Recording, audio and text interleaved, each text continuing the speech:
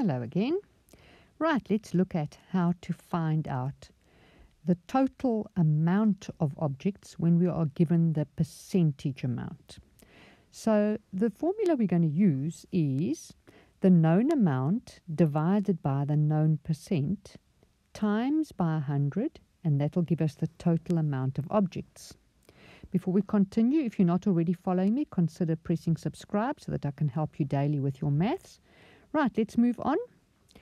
Okay, so let's look at this example. We have seven dogs that make up 35% of the total amount of animals.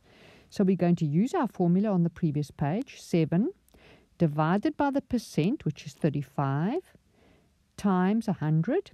And then we're going to come to 700 divided by 35. And then the total amount of animals will be 20. So our dogs are 7 of the total. And that makes up 35%, which are dogs. Right, let's look at one more example. 40 students make up 15% of the total crowd. Okay, so remember, known amount over known percent times 100. Known amount is 40 divided by known percent is 15 times 100.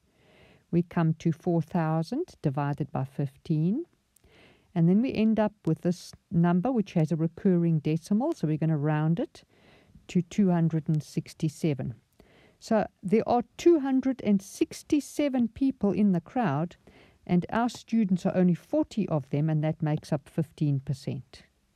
Okay, so I hope that makes it a bit clearer. You might need to practice a few more of these. This does come with practice. If you can just remember your formula over here known amount this over here, divided by known percent times 100 is going to give you your total. Okay. And um, maybe you want to copy down that formula quickly. And then we'll see you in the next lecture tomorrow, which continues with our topic right now, which is percents. And once again, if you haven't subscribed and you want to be part of my daily walk with your maths, you can go and subscribe there. And you can go look at all my older videos as well. I've helped many students on my YouTube channel, Teacher C Lewis. See you soon.